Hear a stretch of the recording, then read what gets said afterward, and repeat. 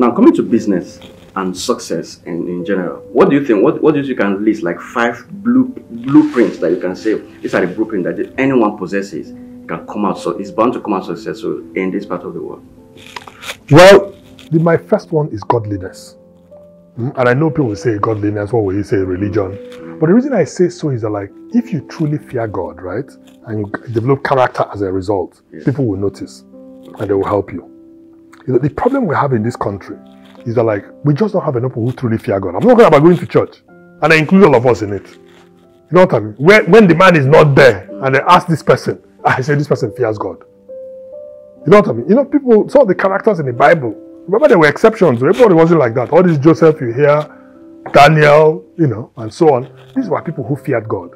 So I would say, you know, it's important. For me, you know, I think that is the secret of success. That's number one. Number two is, you know, get training. Get training. Training, and I'm using training broadly to mean education, Okay. to mean investing in yourself, to mean just if you look at what has helped me the most.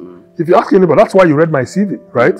Those things open doors. Mm, Not that when people look at where you've been trained, they you know they, they respect They that. respect so there's nothing like making an investment in yourself. mm, I'm not saying it's only formal education because I know that this video other people listen to it. There, some people get training from great um, um, um, uh, players in the in the trade they're in. trade. You know what I mean? But the quality of training is incredibly important, right? And it's good to get it early, Okay. right? So that's that's number two. Number three is people. Just try and build relationships, networks, you know, in a way that is win-win.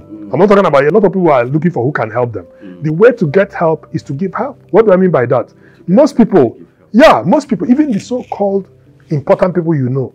You know, I told you about the Kramer who, was my mentor, but eventually my relation with him became that of, you know, father and son, and eventually partners, equal partners even. You know, because the business we invested in was my idea and it was my trade that I had trained, that I had gotten this training in. So he helped to bring the contacts, he helped to bring some of the capital. In fact, most of the capital, I brought very little, but I brought the trade. So I had trained myself. So it's that training that was my my my my value add, or what you might call what I brought to the party. You know what I mean? So when you bring that, you find that like you will always be able to get both partners or mentors or, or, or partner or, or people you can do business with. You know, both those who are senior to you and those that are maybe maybe people who are looking up to you as well. You know, and then the other one I'll talk about is remember I've talked about three and I can go through them again if you want. Number four is giving. Let me tell you what I mean by giving. You know, most people don't actually understand the principle or the laws of sowing and reaping. It's a natural law and it's a spiritual law, right? It's a spiritual law. People reap what they sow. If I want to get help, let me give help. You may not be the person I help that will help me back, but but the, but the but God's universal laws are at work. So you find that like by giving to people, by helping people who need your help, right? You get help. Let me tell you a true story to illustrate this point. Many years ago, I have a younger brother. After I'd gone to business school, he wanted to do the same path. He even joined Arthur Andersen. Then he went into banking. You know, then he wanted to go to business school. He got into London Business School. Now he was looking for um, a way to pay the fees because fees was in pound sterling. You know, you know when you're in Nigeria.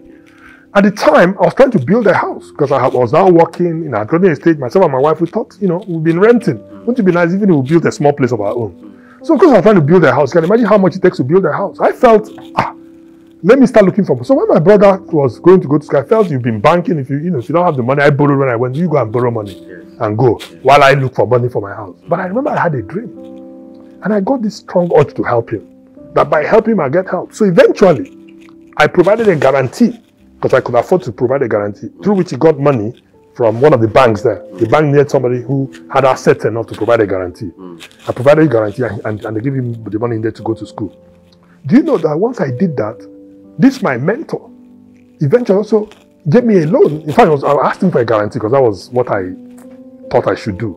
I asked him for a guarantee, but he gave me a loan to build my house and I repaid him. In other words, by investing here, I was getting from there. And I believe that like a lot of that happens just that we're not paying attention.